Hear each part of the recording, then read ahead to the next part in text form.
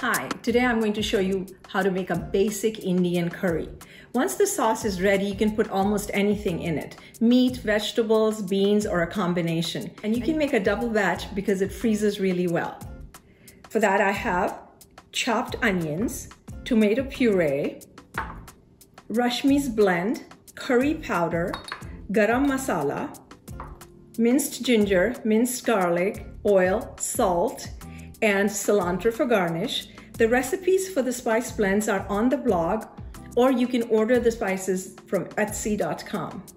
So let's get started. I've heated my pot, so I'm gonna add the oil. You can use ghee or butter instead. Add the onions. Add the salt to sweat the onions stir it up and let it saute until it gets golden brown. It took exactly 12 minutes to get the onions to get to this golden brown color. Now I am going to add the garlic, the ginger, and stir it up a little bit and add the spices Rashmi's blend, and curry powder.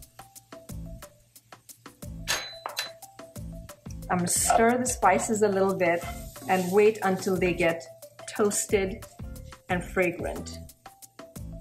About 30 seconds. I can smell the spices blooming, so I'll add the tomato puree.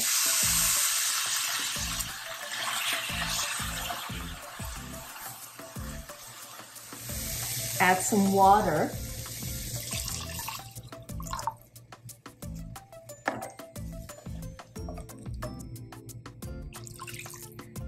And I'm going to cover it and simmer for a little while. After the curry started to boil, I covered it and let it simmer for about 12 minutes. It's nice and thick. The onion has almost dissolved. I'm going to add some garam masala and our curry is ready. You can add meat, vegetables. If you add potatoes, you may have to add some more water since they do absorb liquid. This is the basic curry recipe. You can change it up. You can use coconut milk instead of water. Maybe you can add coconut powder or coconut flakes almond butter or cashew butter and or heavy cream to make a creamy curry. For details of this recipe and many more, please go to my blog.